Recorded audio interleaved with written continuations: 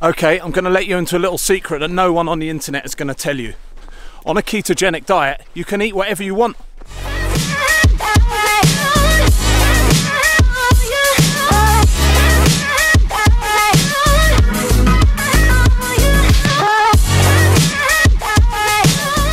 So now I've got your attention, I should probably explain that first comment before the YouTube diet police come after me. Um, oh, by the way, you like the new intro? Pretty slick, huh? So, you can, in theory, eat whatever you want on a ketogenic diet. It's all about amounts. So if you want to do half your carbohydrate daily allowance eating a Mars bar, which will take one minute to eat and it's just empty calories, then you can do that. So you can eat what you want, but it's all about the amounts. And on that note, let's get on with today's video, which is a beginner's guide to a clean ketogenic diet. Let's get on with it. Hey, hey, hey, Felix from Fasting for Fitness back again. And today we are doing a beginner's guide to a clean ketogenic diet. Now, it's gonna have 10 parts, and the first part is the most obvious place to start. What is a ketogenic diet? Well, a ketogenic diet is basically a diet where you reduce, or depending on your current diet, sometimes drastically reduce your carbohydrate intake and at the same time increase your fat intake. So you're reducing carbs that you eat and you're increasing the fat that you eat. And you want to have a medium amount of protein. So low carb, medium protein, high fat. And that is the basis of a ketogenic diet. Now, if you do this two or three days in a row, back to back, so lower your carbs, low carb, high fat for two or three days for all your meals, you're going to put your body into a state of ketosis. Now, what is ketosis? Ketosis is a metabolic state that your body gets in when it's starved of carbohydrates. So your body utilizes the fat and creates ketone bodies. Now, these ketone bodies your cells use as fuel. So you're swapping glucose, sugar as your fuel, to fat as your fuel. And that is pretty much it. Now, number two is why should you try a ketogenic diet or why should you be on a ketogenic diet? Probably the most popular one is to lose weight. Two ways. As we just said, your body is in a state where it's burning fat, so you're burning your fat and you'll lose weight that way. But it also works as a bit of an appetite suppressant. You'll be satiated much quicker when you drop the carbs and you'll be full for longer. So as a result of that, you probably will just eat less calories. So your weight loss is coming from two sides. From one side, from the actual burning of fat, and from the other side, you'll just eat less. And now some of the other benefits of a ketogenic diet are more energy and especially steady energy throughout the day because you don't have those post-meal crashes, which is basically a sugar crash. Better memory, less brain fog, better mood. It's a great thing to do with intermittent fasting because your body's already used to burning the fat. So if you just skip a meal every day, if you're skipping breakfast every day, you'll find it very easy. That's just a few of the main benefits that I've found personally, but there's plenty more. There's all sorts of health benefits. It does vary from person to person. So I would say just give it a go and see what benefits you get from it. So number three is preparation. Before you start your ketogenic diet, you need to do some preparation. The first one and one of the most important ones is clear out your kitchen and clear out your cupboards from any crap that you've got there. Sweets, sweet chocolate, uh, sugary cereals, any of that, it's got to go, especially these isolation times. If you're at home, if you're working from home or at home more than you would be, idle hands and all that. So get rid of all the bad stuff.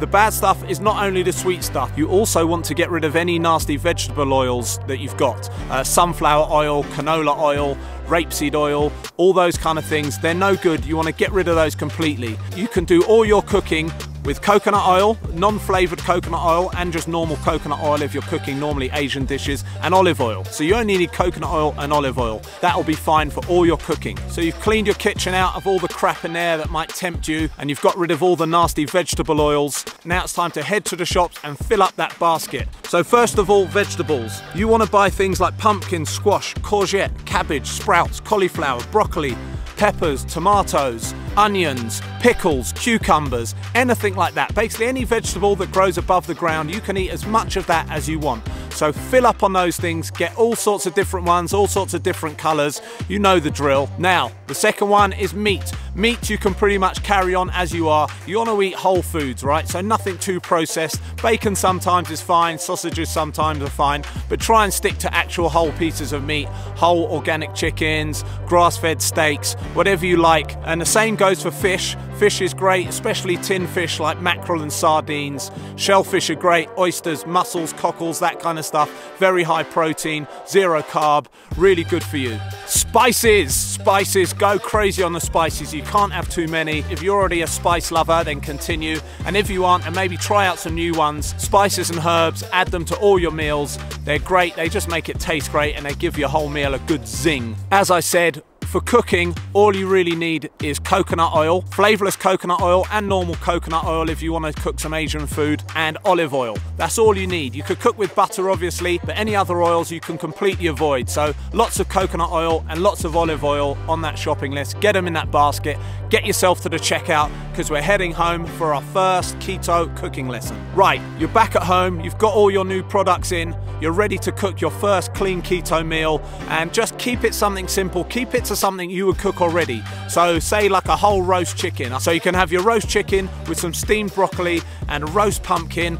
That is a fantastic meal. If you're a veggie and you don't eat meat, then make yourself say a nice big vegetable stew with some of the vegetables I listed earlier, some that you should have now in your kitchen. You can have pumpkin and mushroom and onions and leeks and all of that in there. Have a big vegetable stew, have a big plate of steamed spinach on the side. Job is a good one, easy peasy. Make sure you're cooking with lots of coconut oil.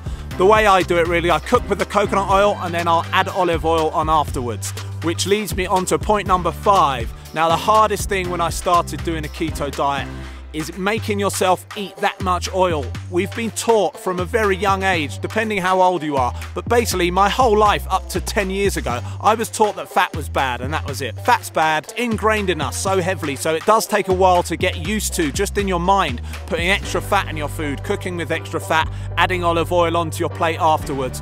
Cook with twice as much fat as you used to. So if you used to cook a dish and start with a tablespoon of olive oil or a tablespoon of sunflower oil, then I'd use two tablespoons of coconut oil. So just double it there and then. Double your fat as you're cooking, and then with every meal, just put a splash of olive oil over the top. Get yourself a good quality one. They taste really nice, and just get used to adding this extra fat to your meals. They're very healthy. Your body and your cells and your brain are gonna love you for it. Point number six. Point number six is snacks. Now, if you're a snacker, don't worry, there's plenty of snacks you can have. Stick to a minimum of 85% dark chocolate. Try and get organic if you can. And nuts as I said in a previous video, not all nuts are made equal, so stick to walnuts, Brazil nuts, pecans, macadamia nuts, stay away from peanuts, stay away from cashews.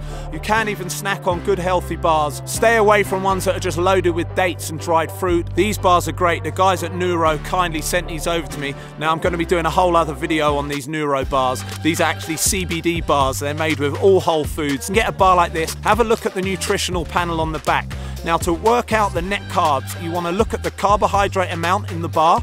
So in this one, we'll pick this banana and cinnamon. We look at the carbohydrate amount, which is per bar is 12.5 grams. And then we look at the fiber, per bar is 3.3 grams. So we deduct 3.3 from 12.5 and we've got what, about nine grams. So nine grams net carbs in a little bar like this, that's fine. That's a great little snack.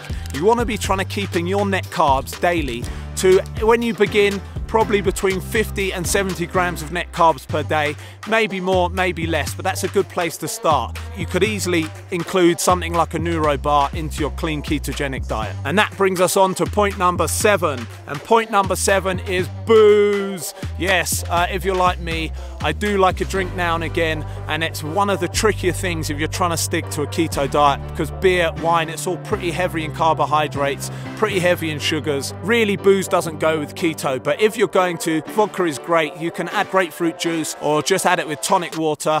You can make a decent low carb drink with a nice kick to it. So if you want to just kick back, relax on a Friday evening after work, you can have a couple of drinks, don't stress it. And point number eight, point number eight, when you start out, you really need to get yourself a ketone tester. The best thing I've found is one of these ketone breath meters. If you just eat and wait for half an hour, you blow into it, follow the instructions on the little screen. They're fairly cheap and it'll give you a reading of the ketones in your breath. They're not the most accurate thing, but you can quickly tell if you're in ketosis or not. So you know if what you're doing is working or if it's not and you have to change something. So yeah, point number eight is get yourself a ketone meter. Now, point number nine, point number nine is don't completely ditch all the carbs. You do need some carbohydrates in your diet. Just make sure they're the healthy ones. Make sure it's not processed sugar. So now and again, have a baked potato, eat sweet potatoes. You can have a small portion of rice with your meal once or twice a week. Don't completely get rid of all the carbs. Root vegetables are good for you, just in moderation. Just don't base your plate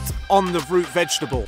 It's just a balancing act. You don't want to base your meals on those carbs. You don't have a big bowl of rice with a little bit of chicken on the side. Should be the other way round. Have a lot of chicken with a small bit of rice and lots of vegetables. So yes, just don't completely eliminate the carbs out of your diet. Do eat root vegetables, just eat them occasionally. So that's point number nine. And point number 10 is cheat meals. So things like sweets, desserts, sugary chocolate, ice cream, pizza, all that stuff, you can eat that, but save it for one day a week, then go crazy on that cheat day. The chances are it's gonna make you not feel too good. After being so clean and running on fat all week, then you load up yourself with loads of sugar. As time goes on and your body gets more used to this ketogenic diet, those cheat days and cheat meals will get smaller and smaller and they will become healthier and healthier. You might find your cheat meal is a bowl of pasta on a Saturday, and what you will find, when your body becomes fat adapted, you can have those cheat days, and within 24 or 30 hours, you're back in ketosis. So I think your body is just able to switch between fat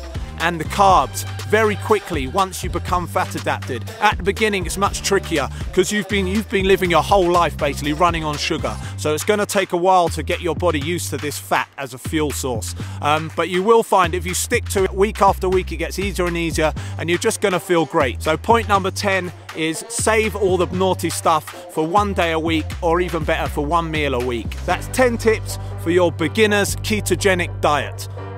So as I get my jacket on here and my gloves and try and warm up a bit, I've been doing Instagram stories daily this week and I've had a few questions about the New York Yankees beanie. No, I don't follow baseball. No, I don't follow any American sports. I got this New York Yankees beanie in New York City, in Manhattan, um, when my daughter was three months old. Now my daughter is 22 years old.